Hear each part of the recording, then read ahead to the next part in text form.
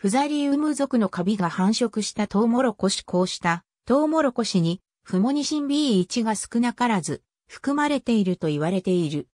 フモニシン B1 はトウモロコシ、小麦及びいくつかの穀物内で種として発生するフーゼリアムプリリファーイトムやカイバートシリーズのようないくつかのフザリウム属によって産生されるマイコトキシンの一種である。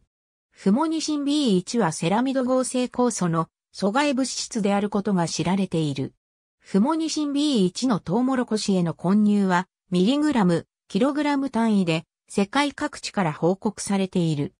人体への摂取量はマイクログラムミリグラム、日単位であり、トウモロコシ製品を主食とする地域ではさらに多量に摂取していると考えられる。フモニシン B1 は投与試験を行った動物に対して肝毒性あるいは腎毒性を持っていた。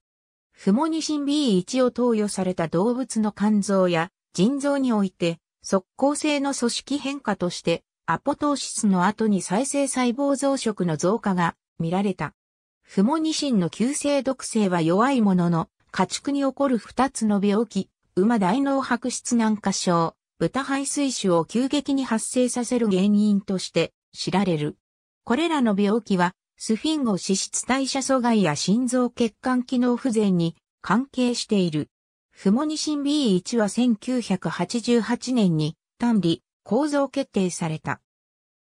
フモニシンの名は単理された金名フーサリアムモニライフォームに由来する。類塩体として、フモニシン B2、B3、B4 が単理されている。ありがとうございます。